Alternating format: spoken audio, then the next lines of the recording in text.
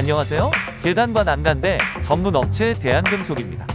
오늘 소개할 현장은 타주에 있는 신축 주택 내부에 계단과 유리 난간대 프레임을 설치해 드릴 현장입니다.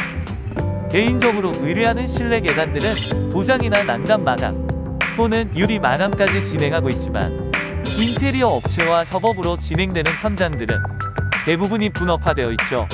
특히 금속 공사의 경우 홀조만 제작하고 설치하면 다음 후발 주자가 이어서 공사를 진행한답니다.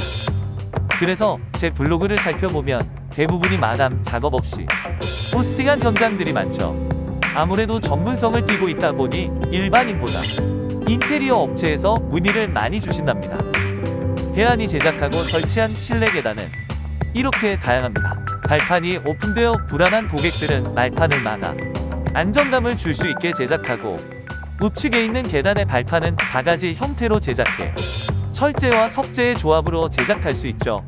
난간도 유리를 삽입해 설치할 수 있게 포스트 없이 깔끔하게 만들 수도 있습니다. 대안이 제작한 계단과 난간들은 비슷해 보이는 부분도 있지만 똑같을 순 없습니다.